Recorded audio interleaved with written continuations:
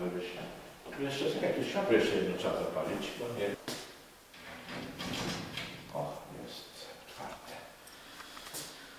Jest to lampa e, tak zwana prostownicza, bardzo podobna do lampy rentgenowskiej, natomiast ona nie wytwarza promieniowania rentgenowskiego, tylko służy do prostowania wysokiego napięcia, które jest niezbędne z kolei dla lampy rentgenowskiej. Tak. I do dzisiaj te urządzenia prostownicze są, aczkolwiek to już są nie w postaci lamp próżniowych, tylko w postaci układów półprzewodnikowych. Lampę uzyskaliśmy e, z Instytutu Onkologii w Warszawie, gdzie e, w latach przedwojennych zaczęto gromadzić pewne eksponaty związane generalnie z medycyną.